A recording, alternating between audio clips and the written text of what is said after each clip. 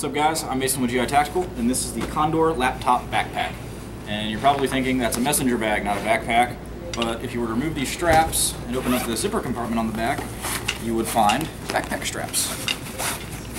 One, two, and then your attachment points, three and four.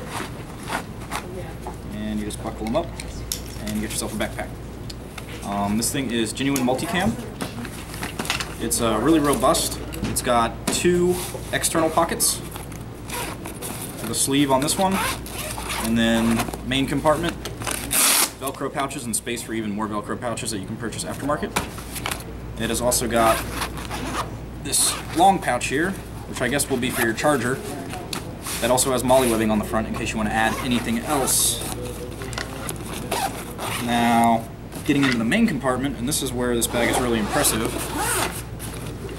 You have sleeves for accessories, space for more Velcro pouches, and then a ton of padding protecting your laptop, which is held in by two nylon one inch straps and protected on the backside as well by another thick layer of uh, foam padding.